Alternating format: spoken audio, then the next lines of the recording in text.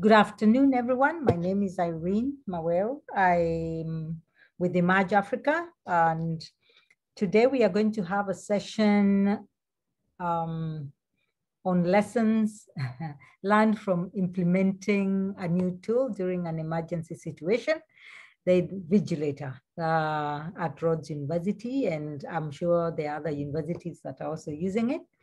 Uh, we have our, our uh, facilitators, I would say, in today's uh, session, which is Dr. Nicola Palitt, Yuri Vessels, and Neil Kramm. And they'll be introducing themselves some more. Uh, just a few things that will be recording the session. So if you're uncomfortable with the record uh, being recorded, you can change your name. Um, and we'll be sharing the link of the recording in uh, in Facebook, and also it will be available later in YouTube. So that is what we'll be doing.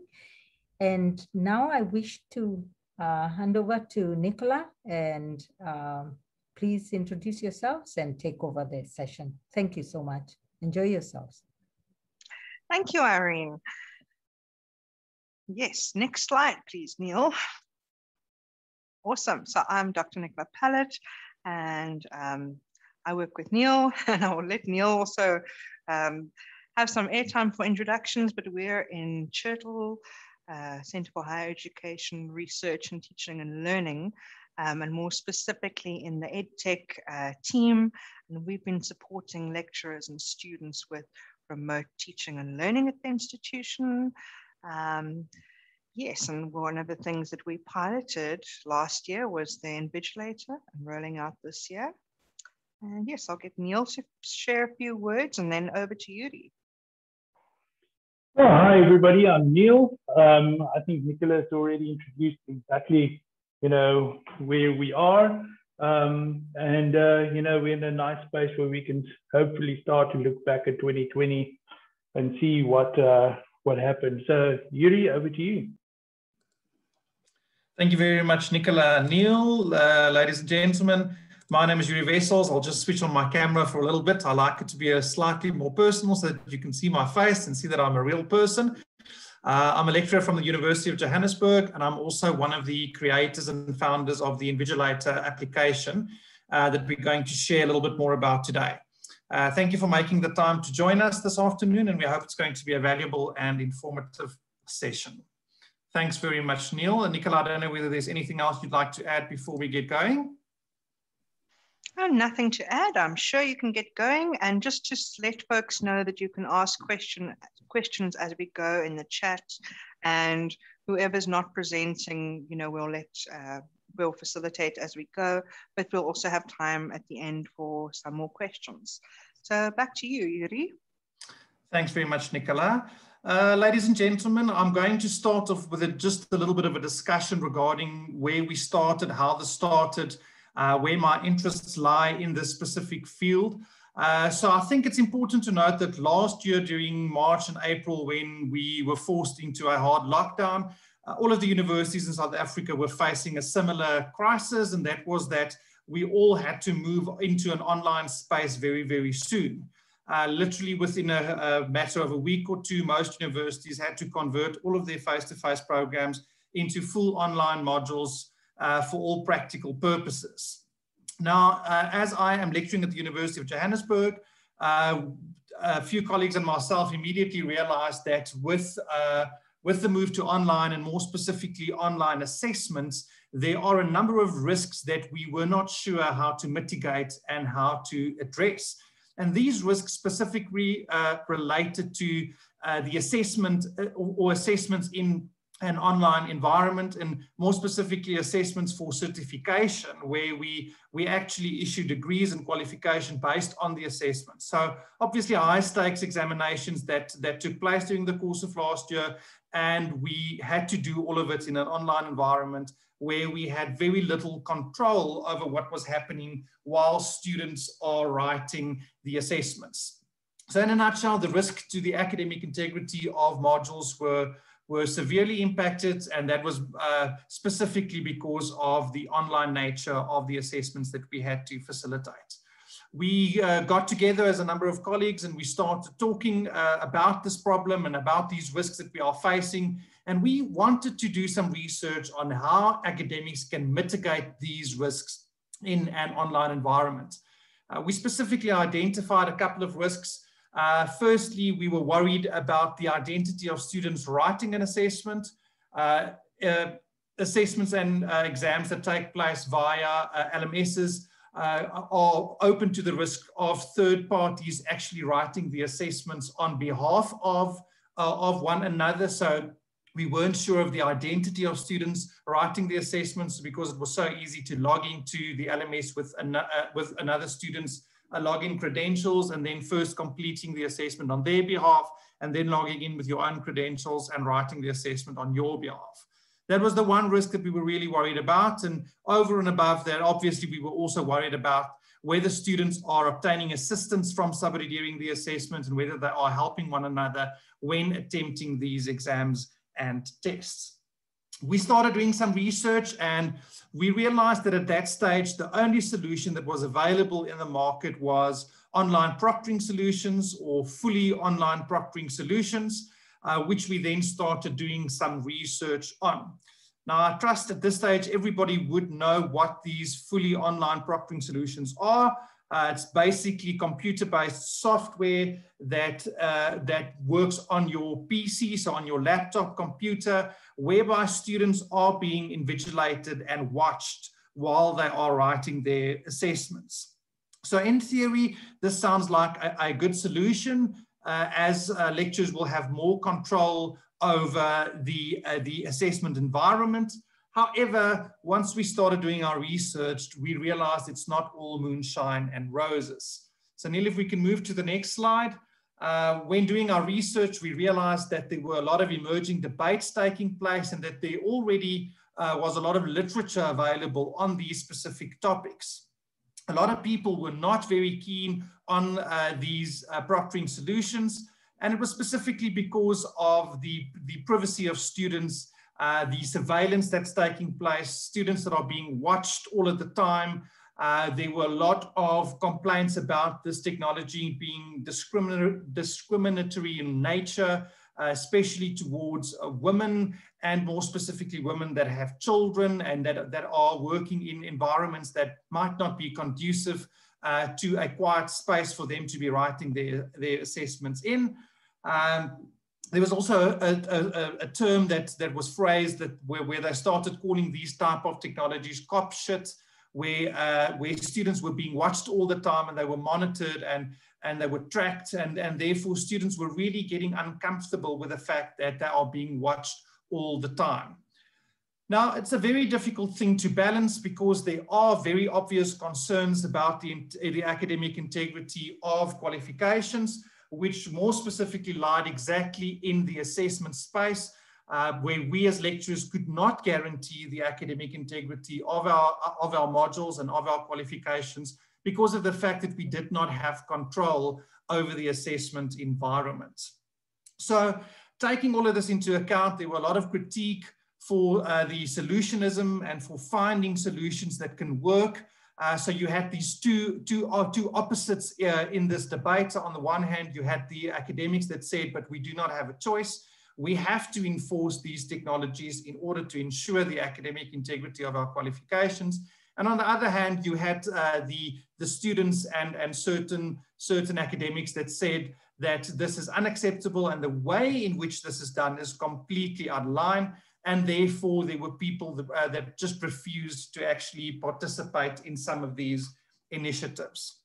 The, re the reality, however, is unfortunately that students do act unethical. Um, and as lecturers, we do have a responsibility uh, to, to, to implement certain measures to protect our qualifications and to protect uh, the, the, the, the, academic integrity of our, our modules.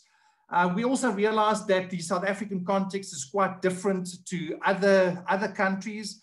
Um, and therefore, we realized that what might work in a first world country would not necessarily work in South Africa we, we then started doing some research on the full proctoring solutions And we started looking into whether that could possibly work in our context and whether it could work uh, for, for the modules that we were actually presenting on at the University of Johannesburg.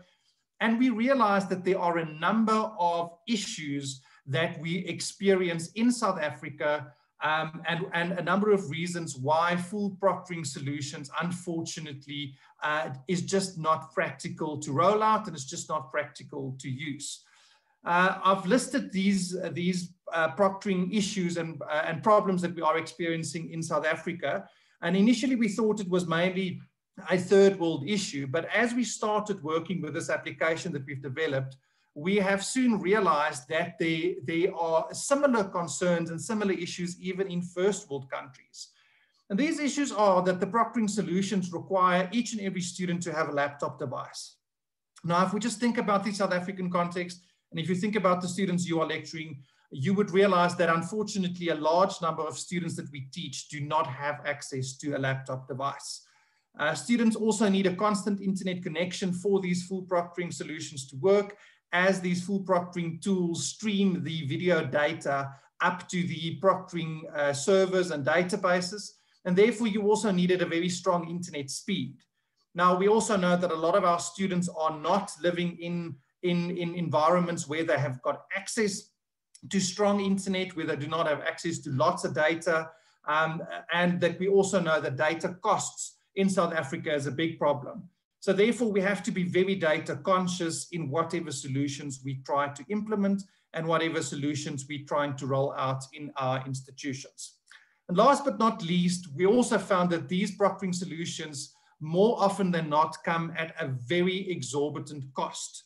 Uh, these proctoring solutions often charge per student per hour, and we just re realized very soon that it is extremely, extremely expensive and that we just do not have the budget to actually uh, pull this off. We then realized that we've got no choice but to start looking at other alternatives. And uh, we then started looking at how we can develop a tool that can work in the South African context, that can work for our universities, that is not as invasive as full proctoring and that do not have uh, the stigma attached to the full proctoring solutions where students' privacy uh, uh, is becoming an issue and where students are feeling that there's a, a, a big invasion uh, on their privacy. And we soon realized that we have to start looking at a solution that is mobile phone based.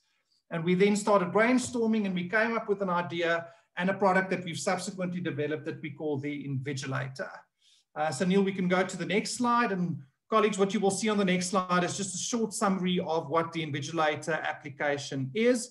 So it's a mobile phone application that works on a smartphone. So from the get-go, we need we said that there are a few a few very important uh, uh, matters that we need to address. So we said it has to work on a smartphone because we know that most of our students have got access to a smartphone. Uh, in the very unlikely event of a student not having a smartphone, it's also a device that's very readily available to actually borrow. So if you don't have a smartphone and you need to borrow a phone from a relative or a friend for that duration, it's not the end of the world. But we've subsequently found that the vast majority of students do have access to some sort of smartphone. So this application works on entry-level smartphones as well. Uh, we immediately said that this solution cannot require a constant internet connection because we know that constant that, that, that internet connections in South Africa are unreliable firstly uh, and that it is expensive to stream a lot of data. So it has to be data light and this this tool has to use very very little data. Um, it cannot be a very large app that takes up a lot of space on your phone it cannot use a lot of battery power because we're battling with, with a load shedding in South Africa and where students might be in a situation where they've got to write an assessment without having access to power. We said it has to integrate with the, the, different LMS platforms so that lecturers can use it with the different LMS platforms that are being rolled out at different universities. And we said that it has to be cost effective. It cannot be an expensive solution and it cannot be nearly as expensive as full proctoring solutions. So that is where we started off. Uh, and during the course of last year, since about April to September, we developed this mobile phone application. And if we move to the next slide, the colleagues will see that I've just listed the, uh, a number of the main functionalities in the application. Um, and what we wanted to do firstly is we wanted to be able to uh, verify the identity of the students uh, writing the assessment to ensure that there is no third parties writing an assessment on behalf of students. And we're doing that through means of selfies being taken during an assessment. So students aren't watched the, for the full duration of the test, but at certain random intervals during an assessment, students have to take a selfie. They're getting notified by the application that they've got to take a selfie. And we then match that selfie through means of advanced facial recognition software uh, or technology to a master photo of that specific student that we have in the database. Uh, so for all of the assessments, we then match those selfies taken to ensure that it matches to the master photo that we have in our database in order for us to confirm that it is the correct student writing the assessment. The application also takes a random audio recording, so, so the students don't know when they are recorded. Uh, and that the main aim of that is to ensure that students are not working together and that they're not obtaining assistance uh, from one another during a test. Um, so students have to remain quiet. Um, and therefore, uh, the technology that we used uh, is, is uh, advanced uh, speech detection software to specifically pick up speech during one of those recordings. So then on our dashboard afterwards, the lecturer would see a, a, a, a report of all of the audio recordings where speech was detected, and a student can then go and listen once again, we do take into account that not all of our students live in, in certain areas and do not have uh, living conditions conducive to a quiet space for writing assessments. And therefore, we always try to, to just uh, uh, reassure students that it's not a problem, even if speech is detected in the background, as long as the lecturer can pick up that the speech that was detected is not relating to the assessment, you do not have to worry. So even though they are recorded, if speech is detected in the background, it's very easy for a lecturer to quickly determine that it's, it's, it's random background noises and random background speech, and that, that nobody is talking to the student about the test that the student is writing. And therefore, even though they are recorded, we're telling students not to worry about the fact that they are being recorded as long as they don't speak about the test. Furthermore, the application tracks the out of app time. So what that means is students are not allowed to leave the application for the duration of the assessment. And we're doing that so that they cannot access WhatsApp or emails or uh, that they cannot communicate with other students and take photos of the test and send that on. So the moment that a student leaves the application, once again on the lecturer dash dashboard, it's flagged and a lecturer can, can then afterwards investigate specific instances where students had left the application for long periods of time, because that would obviously then be suspicious behavior. We also have customized instructions. So uh, depending on the nature of your assessment, the lecturers can then ask students to take photos of, for example, an ID or a student card. Uh, we can ask a student to take a photo of the, the, the, the, script that they're busy with, if it's a scan and upload assessment where they've got to write out the assessment by hand. Uh, so they can then they can then take photos of that. And once again, we can ensure that a student is actually busy writing the assessment. Um, it's important to also note that the, these photos do not take a lot of time and that we do not, uh, that, and that students are not inundated with requests and that, that it basically distract, that it actually detracts from their, their concentration. So normally we would not uh, request more than three or four photos during a full assessment. So if it's an hour or a two hour assessment, it's, it's four photos that they've got to take and uh, it will not take them more than 10 seconds per photo that they need to take. So it's roughly a 40 second, uh, 40 seconds that they would be be uh, taken out of the assessment or where they, where they would not be able to focus on the assessment. But that's easy to overcome if a lecturer maybe wants to add a few extra minutes at the end of the assessment to, to counter that. Um, we also have a verification code feature where we link it with the LMS that the institution is using. So if it's an LMS-based online assessment with multiple choice questions or true and false questions, or where it's a, where it's a fill in the word or essay type question on the LMS itself, we've also got a feature where we link that student with the LMS to ensure that the student writing the assessment uh, on the LMS is actually the student that's sitting in front of the invigilator application so that somebody is not writing the assessment on the LMS in one location and the student that they're writing for is just sitting with the application and performing the, the, uh, the prompts on the application itself. And then we do that by requesting a verification code on the LMS assessment at a specific time. And for that, the student would then have to uh, press a button on the application whereby a four digit one-time PIN is generated and that one-time PIN then needs to be entered into the LMS assessment within a certain period of time. So that is in a nutshell what the application does. So it's not a, it's not a full proctoring solution where students are watched all the time. Um, uh, and it, but we, we, we are comfortable that it does address the biggest risks that we, uh, that we associate with, with online assessments. Now, at this point, I'm going to hand over to, uh, to Neil, uh, who's just going to start off and, and, and explain um, how we then got in touch with Rhodes University and how we then started doing a pilot uh, with Rhodes University at the end of last year and how what, what their experience was of this, of, of this application during the course of the uh, pilot program.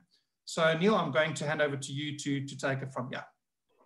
Thank you, Yuri. Um, yes, um, and I think Yuri has already captured exactly most of the reasons why we looked at at at. Um, I mean, I think we looked at about thirty or forty different options um, by the time we, we we got to the invigilator, and we all know that the data data is a very big. It's probably one of the biggest words of 2020. Um, but in any case, and and I think one of the biggest drivers is that you know, most lecturers were very um, worried about the academic integrity of exams, about um, timed assessments like tests, and and and you know there was a real drive to to find ways to discourage cheating and other kinds of academic dishonesty. Um, and I think that was one of the big drivers that obviously brought us to here um, to to uh, piloting um, the invigilator. Um, and I guess this has been debate that happened right around all higher education institutions. Um, I don't know about you, you guys, but as far as I know, uh, 2020 was also the, the year with the most cases of plagiarism, um, more so than any other year. And, you know, discussions with colleagues elsewhere have also indicated that a, a dramatic rise of, in, in plagiarism. Um, and yeah, it'd be interesting to find out why. Um, but yeah, most importantly, we had we had a lot of requests and a lot of uh, discussions with with the people that we support um, around you know a need for some form of invigilation. Um, others, you know, certain departments tried it with Zoom. There were just a whole bunch of different, you know, solutions or handmade solutions being tried. Um, we then decided to try it out with two courses, um, both of them second year. One is a second year law course with about 250 students. Um, the other one was a commerce subject. And I think that was also about two or 300 students. Um, and unfortunately, that failed. Um, and I think that comes up to the next slide of why it worked in the law group instead of the commerce group, and that was around the initial mediation. Um, you know, we were very fortunate in that we could have a meeting with Yuri um, and, and some other of these team members, um, and we could have a you know open and honest, frank discussion about you know what what the invigilator is and how we can implement it. And unfortunately, the commerce lecturer went out um, after that meeting, sent an email to his class, and you know, it, it created chaos instead of instead of uh, creating buy-in. Um, but in any case, I think the, the big success that we had is, you know, how, how we collaborated with the lecturer where we could implement. Um, you know, we created a, a introduction to, to, to the invigilator, why we need it, uh, why we want to pilot it with this course specifically. Um, and we gave them very clear instructions. Um, and uh, yeah, I think it, it, what makes it difficult is when you pilot anything, we, we, had, we decided, we actually had a very big debate about should we make it forced or, or should we make it voluntary? Um, we decided to go voluntary. Um, so, you know, the use of the invigilator would not affect you negatively as a student. Um, what also made this exam different, and I think this was a, a strategy many, many lecturers use, they would try an open book um, exam, um, and that was done with an assignment on Moodle, on our LMS. Um, we then also collected some feedback from students afterwards to to see how how how it went and what's their perceptions, you know, measuring things like, you know, surveillance, etc. All the all the issues that Yuri has mentioned before as well. Um, we then also did our supplementary exam in January. Um, uh, in yeah, we also used it for the supplementary exam, which was yeah, indeed also a good experience. Okay. I think then I'm going to hand over to Nicola. Sorry, Nicola. Thanks, Neil. And just to add to Neil's uh, discussion, I think the sort of culture of a university plays a big role. Um, it's not one, you know, I think it's a university, Rhodes is a university where students have, you know, quite a lot of voice and the expectation that that voice is listened to. Um, it's not like we had seen some other institutions and heard that they had just said, you know, told their students, you will be using this. And if you are not using this, your marks won't be counted. um, whereas with us, you know, we had to be very clear, um, you know, in, in our in our information and how we were, you know, mediating this to students. And uh, it was one of the students actually who were part of that commerce group that posted on the SRC, I think, Facebook page. You know, that sometimes people can you know, really escalate something if it's not communicated properly initially. Um, so that, that I think was really, really important. So here we had an announcement on our on the course site that we actually um, sent out uh, on behalf of the lecturer. I said, you know, look at the tab, at all the info, um, and it's, you know, you know that we had to say, you know, why are we doing this? And we're going to, you know, we're sharing information. There's a demo page so they could actually test it out beforehand. We shared, you know, why we're piloting it in this in this information. Um, yeah, and if they were unable to participate after having read this, that they contact their lecturer. Okay, so it's very much about how do you get buy-in, how do you communicate to students, um, and I think the big thing is that, you know, students actually do care about fairness. So saying, you know, we, we are doing this for you. Um, and that this, you know, is, it's in, in your basically interests actually to participate. Okay. So I said, yeah, we will be piloting an exciting new app called the Invigilator in this course. Your participation and experiences um, will help inform the rollout of the app across the university next year app is currently being used at a number of South African universities. Um, and yeah, telling, telling them a little bit more about it and that there was going to be opportunities to give feedback later. Okay, next slide, please, Neil.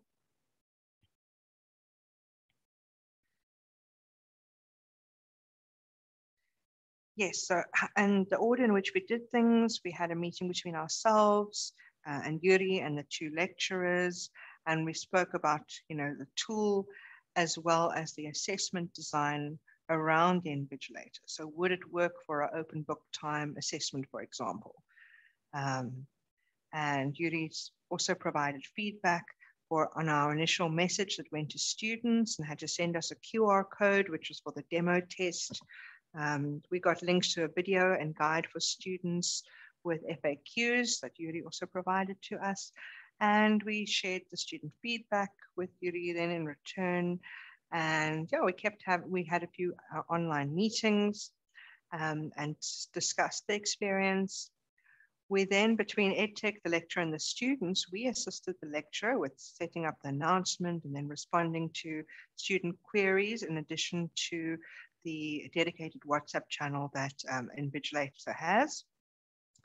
And the lecturer also reinforced the importance of this pilot and how it would be, you know, couched it in terms of um, in, integrity of assessments. Um, and that they would be have the opportunity to test it out beforehand, before using it during the exam. And to get a bit of, you know, essentially buy-in during a Zoom session. Um, and I think that was really key, that it had that integrity focus rather than here's this new tool and yes, it's exam time, but this is the first time you're going to use it, you know. And yes, Invigilator provided a WhatsApp help desk. And then after the pilot, we actually wrote a draft report uh, where we reflected on information and feedback. And this report then went to departments, academic departments at Rhodes, with questions for feedback. And after this, you know, the, both the questions and um, the feedback and the report were shared with our teaching and learning committee.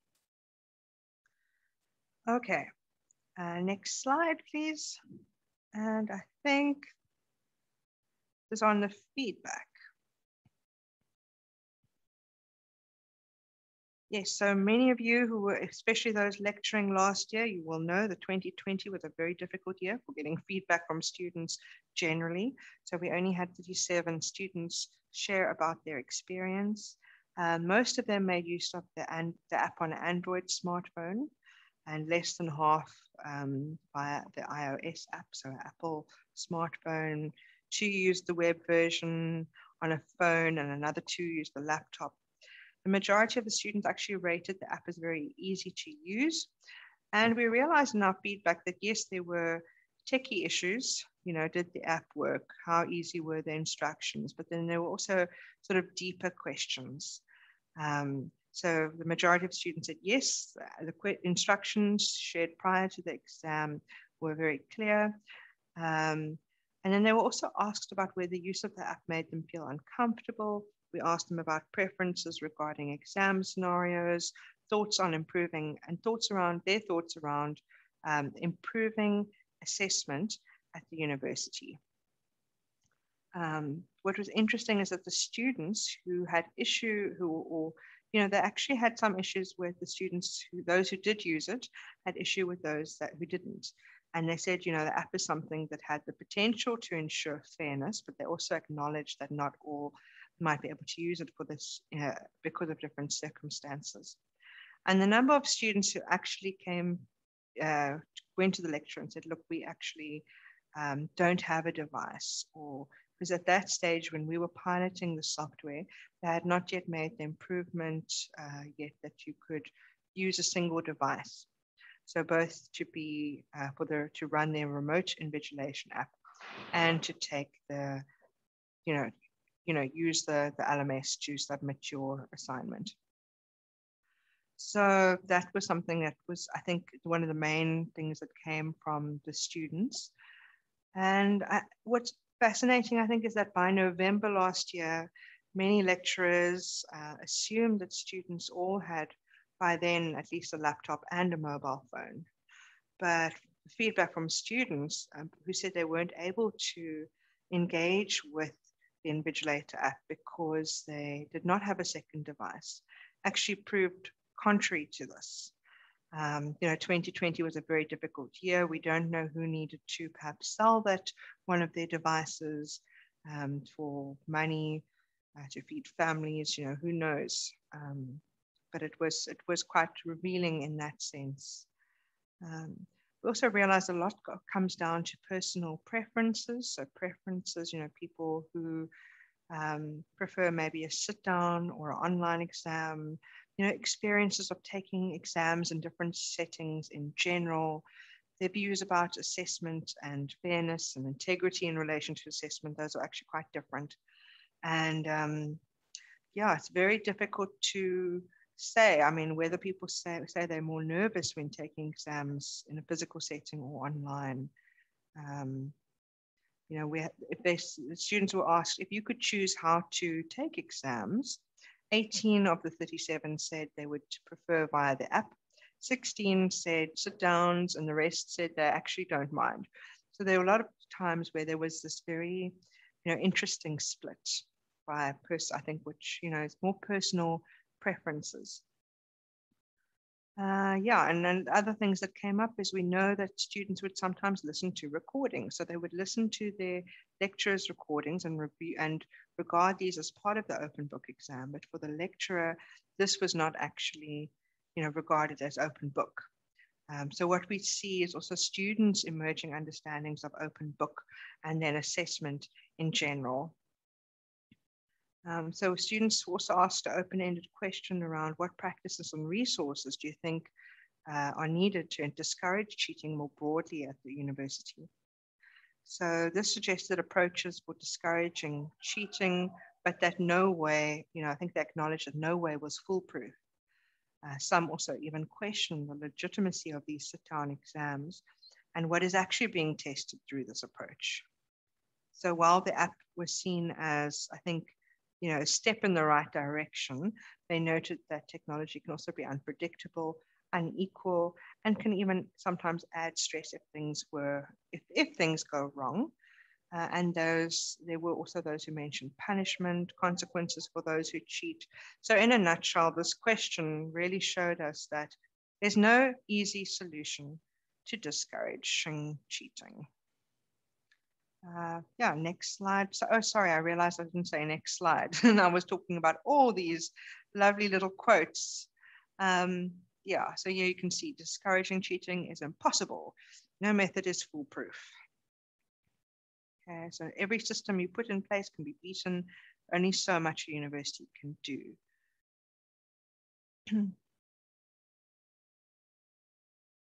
so very different perspectives. Um, and I think really spoke to, you know, what is the, the bigger issues here? And I think it's around, you know, the traditional assessment and how the pandemic made that very, very difficult. And spoke to, I think, the bigger picture, which was fairness in general. All right, next slide, please, Neil. And I think you, it's your, you're going to talk next about the next two bits.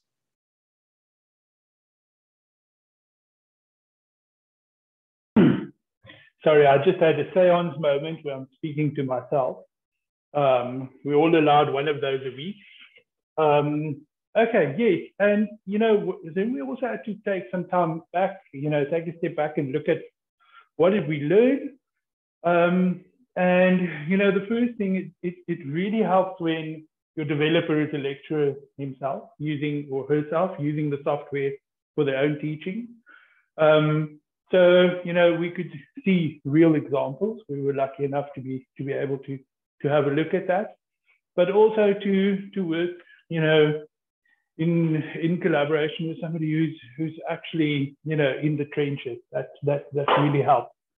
Um, we also realized that again, like any software um, and any, you know, pilot or any launch of software, you know, partnerships are essential um, and getting buy-in from from lecturers and and students is is important. Um, but also, I think the most important part is that onboarding and training um, that's responsive to to the need and to the level of understanding um, of your students in their context is is is super important. Um, also, I think most importantly, plan for some extra support when introducing these new tools. Um, yeah, I think Nicola did the lion's share of supporting on this too, and it was um, quite a lot for one class to support. So I think you know implementing something like this at, at a larger scale would would require some more hands on deck. Um, what we definitely learned about our students is that we know to make the assumption that two devices are owned by everyone, I think is a bit difficult. Um, I don't think that was the case, and I don't think that's the case now. Um, I do think that it could be easier to get a phone than to get a, a computer and a and a ADSL or you know whatever internet connection. Definitely yes. Um, and then also that fairness matters. You know, for a lot, for some students in the feedback, as Nicola mentioned, you know, um, if we are using it, everybody should use it. So from the pilot, of course, that, that would be an outcome.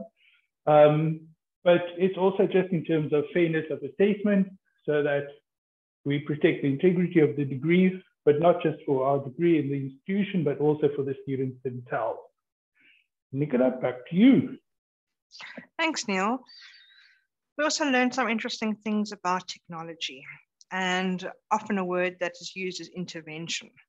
And I think you know, when you're piloting or implementing and implementing a new app, it's not really an intervention. We've got to think about it as a partnership.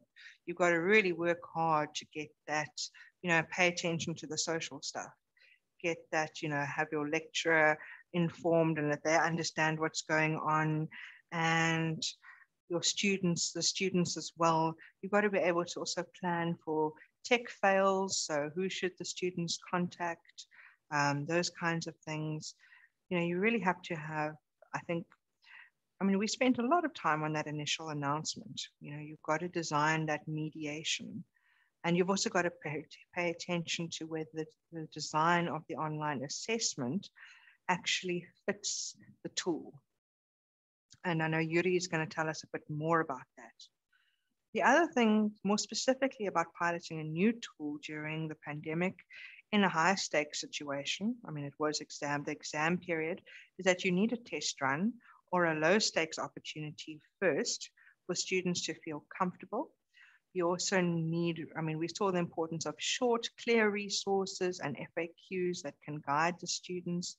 And because some of the questions that students shared showed that they didn't actually read the information that we shared with them. So it might have been even a bit too heavy.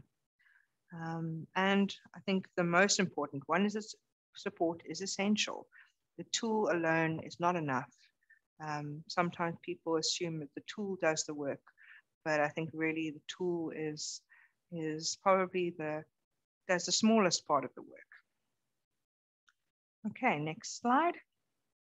And I think we've got Yuri. Yes, there we go. Over to you. Thanks, Nicola. So ladies and gentlemen, as an academic myself, something that I've that we learned very quickly is that you cannot rely on technology alone. And as we have seen, uh, that there will always be ways and means around technology. So students that are really clever will find ways and means around it. So yes, technology will mitigate the risk and will, will ensure that a lot of students that would have taken a chance to cheat won't do so anymore.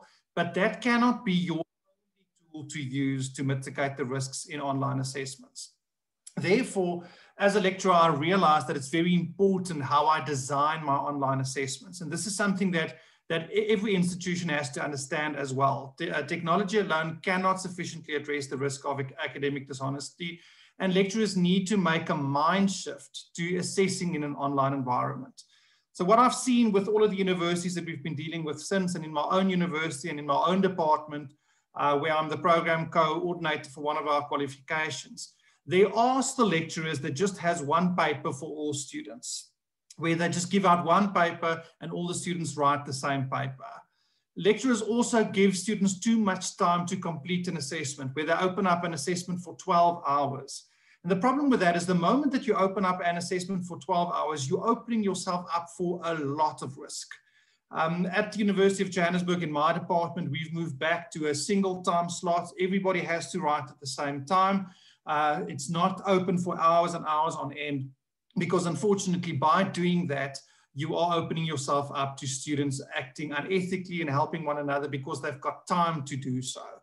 Um, we have gone and we've moved to a, system where uh, where we, we use pools of questions. So where not everybody gets exactly the same question paper, we go to a lot of trouble to ensure that this, the questions are set at the same standard, but it, that it's not exactly the same. Um, we also have questions where, where we've got three or four pool questions so where we take the same question and I'm lecturing taxation, so I'm in the, in the commerce field, and where we change very small things in the question. So at the first glance, it looks exactly the same as the, as the question of my friend, but we've made some very small changes to it. And then in the marking process, we know which students got which pool question. And if you now are making use of a, a, a, of certain amounts in your answer that was not in the question we gave you, we know that you got that question from a friend and that you did not do the, the that specific question by yourself. Um, so that worked really well for us as well. So at the end of the year, we as a lecturing team, uh, my colleague and I, we were really comfortable that, that we really eliminated the risk of academic dishonesty by using the Invigilator application, so using the technology, and together with carefully designing our assessment papers. Um, so maybe just to give you a little bit of background, so I'm lecturing 1,200 students at the University of Johannesburg, and we uh, caught 86 students who acted unethically and who got assistance from, from friends and fellow students. So unfortunately, uh, there is a massive risk in the online assessment space, and therefore we, we cannot just sit back as lecturers and say, we're just going to leave it. Uh, we've got a responsibility, um, and therefore we have to use what we can in order to mitigate these risks, to, to, to protect the academic integrity of our assessments. Uh, something that I also think is a big solution, and it's very important for lecturers to upskill themselves with, uh, with regards to what their specific LMS can offer. So what are the different types of questions I can ask? Uh, so they were, we learned a lot. So at UJ, we use Blackboard and I've, we've, we've learned so much about Blackboard in the process and how to assess and what type of questions we can ask and what, how we can use Blackboard to assist us in this. And, and that goes for any LMS, whether you're using Moodle or you're using Sakai or you're using Canvas or whatever solution you are using, make sure you know how to use it to your best ability. So, so what I'm trying to get to is this, this is a team effort and that that lecturers need to unfortunately invest themselves in the process. And I can just say, as an academic myself, it was a really rewarding process. Um, and I'm not saying it's rewarding because we caught 86 people. I'm saying it's rewarding because of, of, of the, the fact that I know that the module that I presented and the assessments that I set was up to scratch and it was up to standard and that I will not be sending people or students into a job market that is not that is not ready to uh, to to do so. Um, so yeah, maybe just back to the, the last bullet on this slide I want to address is, so too many of my colleagues just, just got a normal scan and upload paper where they, they, they uh, present all of these students with the same PDF document um, and students have to scan and upload their responses at the end. There's so much that you can do and we, we, we have a firm belief that you have to find a balance between scan and upload responses and to online assessment questions. And, and obviously it's going to depend on, on the discipline that you teach. Certain disciplines leans itself towards certain types of questions. And we do understand that it's going to differ from, from, from, uh, from discipline to discipline. But, but lecturers have a responsibility to, to invest some time into this. And, and as I say, as a lecturer myself, it's a really rewarding process. So if we move to the next slide, Neil, um, I'm just going to touch on where are we now with the application. So you might have seen that Nicola has mentioned that one of the big drawbacks that we experienced last year was that students were not allowed to leave the application. Um, and that unfortunately was a problem because there are so many students who only have a cell phone. So they only have one device and they've got to use this device to either complete the online assessment on or they have to use this device to actually read the, the PDF document or the PDF paper that they've got to write out by, by, with, with, with pen and paper by hand. And therefore, because students couldn't leave the application, we had the problem where students only had one device and they therefore couldn't use the invigilator because they had to use that device to actually, uh, to actually read their paper or actually complete their paper. Um, we we, we, we uh, introduced the app to UNISA last year with about 70,000 students at the end of the year. Um, and we had a similar experience there where, where it became a very easy excuse to say, I only have one device. So what we've subsequently done is we've gone and we've built a browser into the application itself so that a student that only has one device use that one device to use the Invigilator application, but they can also access the LMS to write the assessment on or to access the PDF paper on the LMS. So uh, since last year to this year, we've, we've made great improvements to the application. And one of those is definitely that, that students with a single device can now use the application for both LMS and to run the uh, Invigilator application. Um, another uh, set of feedback that we got from UNISA, which was very valuable, was that uh, lecturers that did make use of scan and upload papers, so where students had to write out the test by hand and then scan their responses and upload, made uh, uh, actually abused the scan and upload time. So at UNISA, they they were very lenient on the scan and upload time at the end because many students live in rural areas and students do not have access to strong connections or they had to travel somewhere where they can upload their scripts to the university LMS. But unfortunately, if they would give students an hour to upload their papers, many students continued writing for a further 45 minutes into the upload time. And they didn't stop when the actual assessment time was over, uh, which obviously was a huge discrepancy um, because students, uh, it, it, wasn't a fair system. Um, so what we've subsequently done is we have built in a functionality into the application that for scan and upload papers, uh, once the time runs out on the application, so once the, the, the students, uh, once their time is up, they are prompted by the application to take a photo of each page of their answer sheet. And they've then got a limited time of five minutes to do that. And what then happens is that that photo is then uploads onto your lecturer dashboard and the lecturer then has access to where the student was at when the time was up. So should a student then continue writing, even though the, the well, into the scan and upload time, we already have a copy of where the student was at when the time was actually finished. And therefore that serves as a major deterrent in, in, in, in, in, in stopping students from actually continuing writing, even though the writing time is finished. Uh, so that we think is a major, major improvement because that, that completely eliminates that, that risk of students abusing the scan and upload time. Also, where students miss the submission deadline on the university LMS for whichever reason, it's now very easy. So once a student emails the lecturer to say, I couldn't upload or I didn't, I've, I've had some sort of issue and I missed the upload deadline, it's very easy for the lecturer to go onto the Invigilator dashboard and to go and have a look at the script photos that were uploaded. We convert it into PDF and the lecturer can download the full script straight from our dashboard. So any discrepancies with regards to late uploads um, are now also are now also taken out of the equation because because we've got a copy of the student script when the time is up because of the photos that that they take.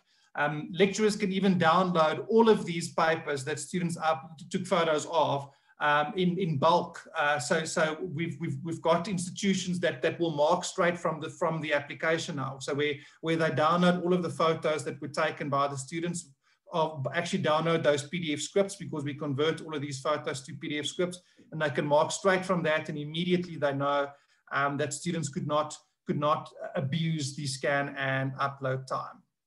Um, we've also built in a demo test upon registration. So students immediately when they register for the application, they, they get taken through a demo test on their device to show them exactly what's going to happen. So once again, we're trying to take out a lot of the unknown so that students know what to expect that it's not foreign to them and that it doesn't create anxiety during an assessment. So once they've registered, they, they, they do a calibration test to make sure their device works properly, uh, that we take them through how to take a selfie, how to take photos of specific items.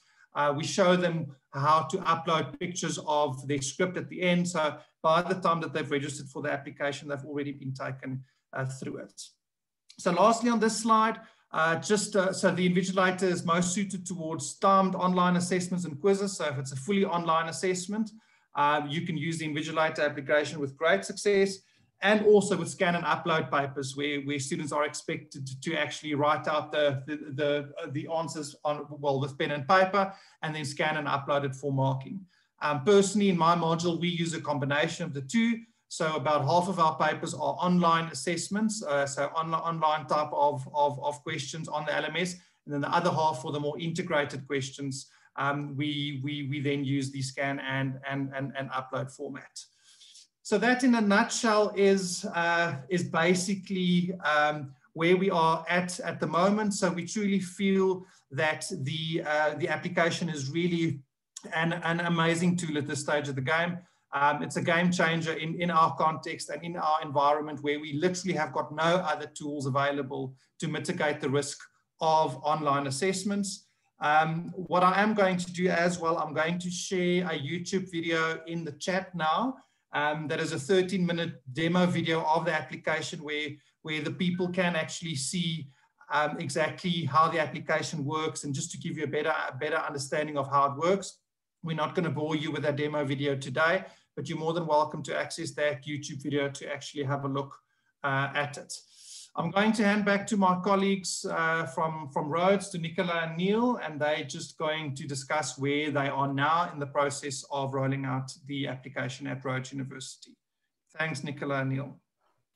Cool, thanks, Yuri. Um, all right, so I think one of the big things that we learned and that we're also seeing here, you know, especially through Yuri's feedback, it's important to know, you know, what what the tool, you know, what is the situation that this tool is best suited to?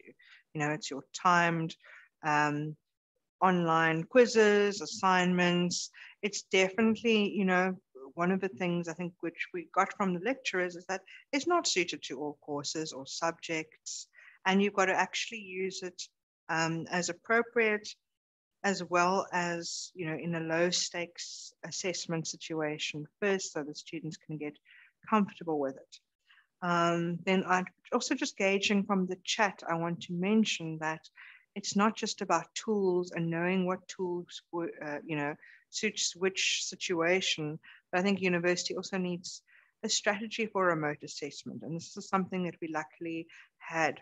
Um, and we were already supporting lecturers, you know, involved in supporting them with remote assessment uh, and already, I think, attuned to a lot of the issues. Um, Neil, you want to add to that? Yeah, yeah. I think I think the most important part is, you know, and, and I think Yuri also emphasized that is that you need that strategy, um, that any tool is beatable. Um, so, you know, it's about how you combine your assessment strategy with with a tool like like the invigilator, um, which would definitely determine the success of of, of that. Um, but yeah, it's definitely also you know you need to think about, um, and we also still have to think about how do we roll this out bigger.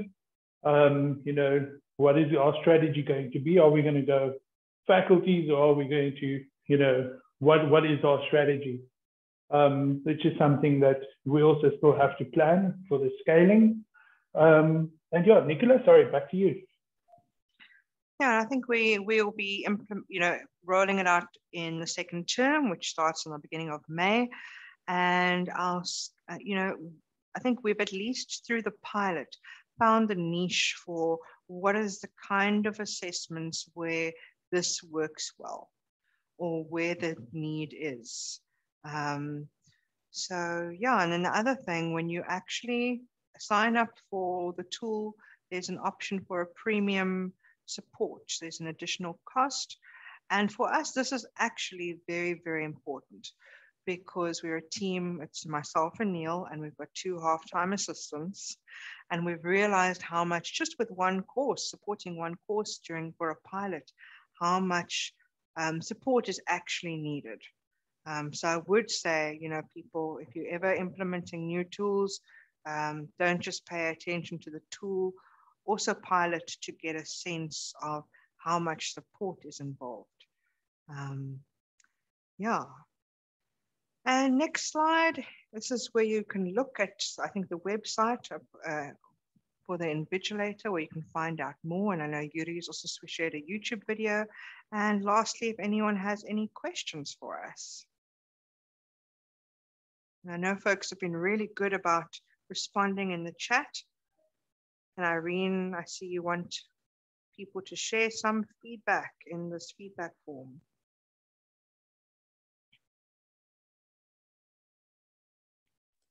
Any questions? I'm sure some of the colleagues have got a few questions. Uh, we're more than willing to answer your questions. Ingrid, I see you've raised your hand. Yes, thank you. Um, I have two questions specifically. Um, the one is I've been reading a lot of um, studies on the effectiveness of remote proctoring. Um, and the data is really um, show is quite contradictory. So either shows that there's no effectiveness, such small effectiveness that it's really not worth doing it, um, while some other studies have shown um, that there is some effectiveness. So what um, what, what studies and in which manner have you um, shown effectiveness? and um, and then the question related to effectiveness: What studies do you have um, in terms of anxiety? I had a, a, a friend that ended up using um, this app to write her exam for UNISA, um, and she said she was so anxious because she constantly felt that she has to check to make sure that she's not missing a prompt to do something. That it really, um, this is an older person, she's not um, young and inexperienced. She has all of the tools that you could need, but but her anxiety level um, really really rose with this. So so that's kind of the two things that I'm I'm interested in is mm. effectiveness and anxiety. Thank you. Right. Um, yeah. As, as I, I, I, have explained to you, um, as a lecturer myself, I, I, I, I have experienced the effectiveness of using technology together with a very specific design of my assessment papers. And uh, the proof for me is just in the fact that out of 1,200 students, we had 86 transgressions for my modules last year. So they, those were 86 students where we had clear-cut evidence of students acting unethically during an assessment that we took through a judicial uh, process. Um, so, so, and that is, as I say, that's my own experience with using these two things. So, firstly, the application, and secondly, the the design of, of my paper. So, so that that that in itself is for me as a lecturer myself that's been lecturing for 13 years, uh, ample proof that that there is definitely merit in, in in using these kinds of tools. The second thing with regards to the anxiety, um, I, I, definitely think that when a student uses the application for the first time, there could be a level of anxiety.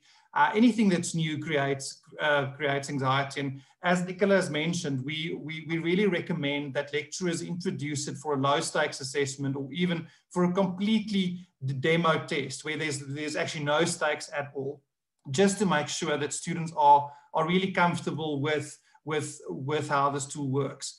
Um, and as I've explained to you earlier on, uh, in any assessment that I set for the application, I never expect of a student to take more than four photos, um, of which two of the photos are selfies that they've got to take. Uh, one photo would be a photo of their ID or student card.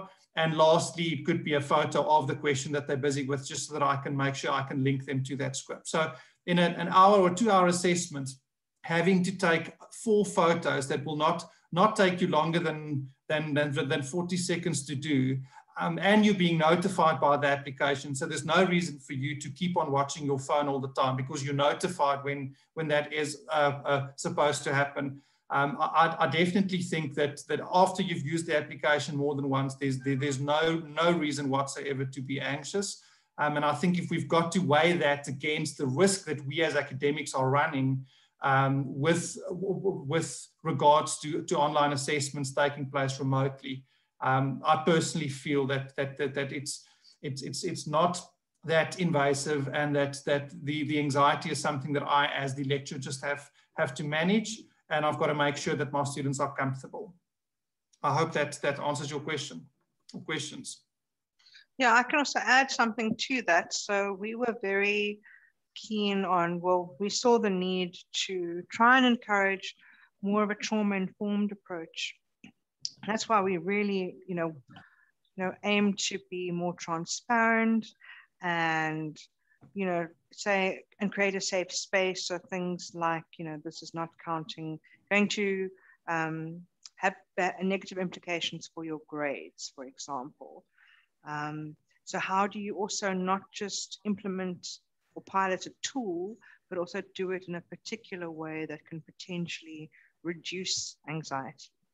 Um, I can't uh, give you the literature at the moment for stuff on test taking and stress and whatnot. Um, but yeah, I think it's important for lecturers. It's not just about a test or a new tool. It's also the circ- how you design the circumstances around that and mediate it that makes it either less or more stressful. Uh, Pranavan, I see you've got your hand up as well. Yes, uh, hello, Dr. Kitala. It's Pranavan from Durban University of Technology. Uh, I'd just like to say that I've attended a presentation by you and I'm convinced I just need your assistance and possibly you know, guys from Eiffel to convince my EXCO committee in our faculty. Uh, I've been trying to get them to accept technology like this. And um, the latest that I heard is that we need to pilot it. So I've offered them my course. I have about 30 postgrad students. I've been trying, I, it would have been too much to ask for about three, 400 students. Uh, way forward, please, uh, Dr. Nicola. Thank you. Sorry, Pranavan, I'm not sure what you're asking oh, me exactly, but maybe you can clarify for me. Uh, way hmm? from, from your, your side or, or, from the guys from Eiffel so that we could implement it at uh, DUT and, and hopefully convince our faculty uh, exco members to, you know, uh, go with this. Maybe, maybe you guys could, could do a little demo with us or uh, have a little Zoom meeting so that we can have one-on-one. I will share the YouTube videos. I have shared the uh, link to them, but I, I, need a little bit more convincing and uh, I don't think I'm the right person for it. I've also sneakily been sharing our draft report, so I can share that with you. Um, so I'm yeah, and, and I'm and I know in uh, Eiffel Corp does a lot of Zoom sessions. I think the big thing is piloting is very important, mm-hmm. and and especially with a small smaller group.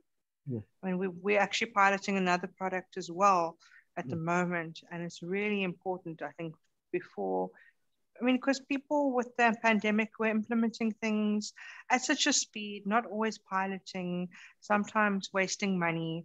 Uh, so it's really, I think, you know, what you're saying is really important that you pilot mm-hmm. first, test, mm-hmm. work out all the snags. Um, yeah, but I'll share my email with address with you, and then I can send you the report. One of the exco members, um, at, at, your convenience, I, I would love it if you could Zoom meeting. Thank you. Pranavan, what what we'll do as well, uh, Romana and myself will get in touch with you, and we can set up a call to discuss the way forward, um, and to discuss how, how best we can go about uh, a pilot program at your institution and, and can address the issue with your your your exco. Thank you very much. Thank you very much.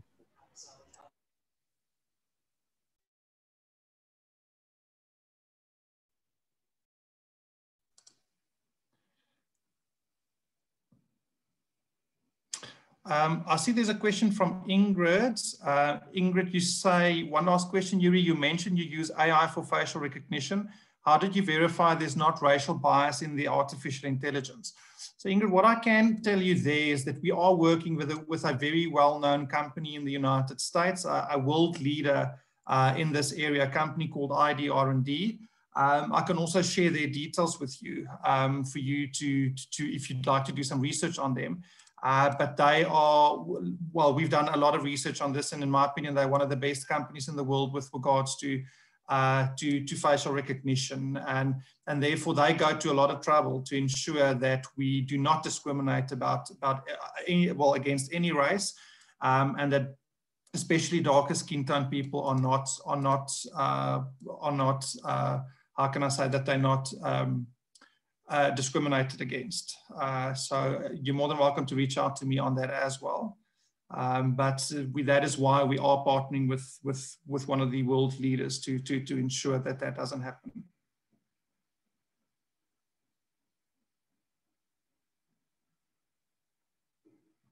Any more questions?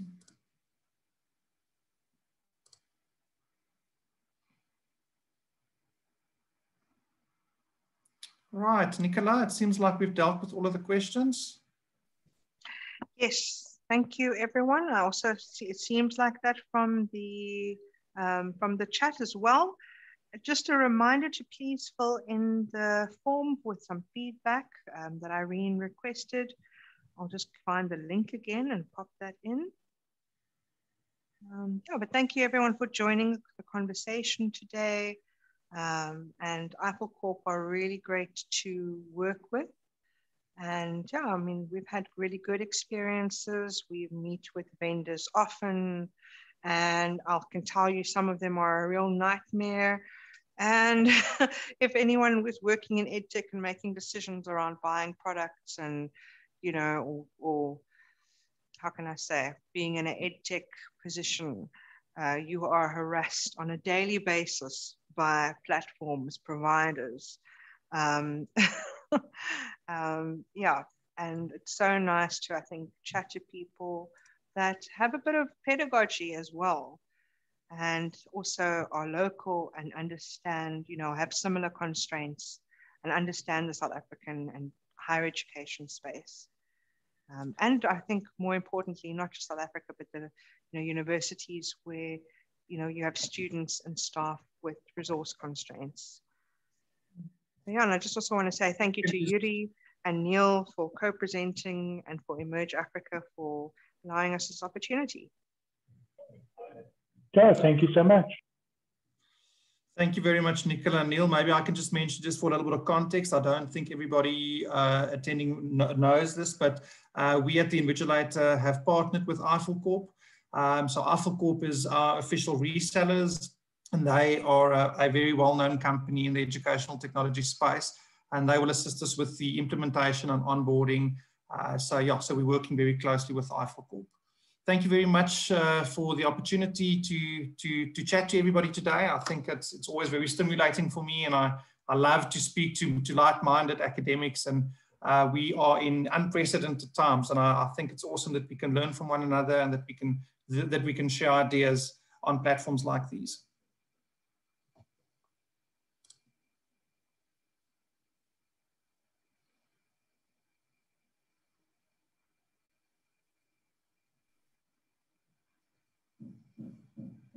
Bye, everyone. Have a great day further. Um, and yes, I think Jakob, you can end the recording.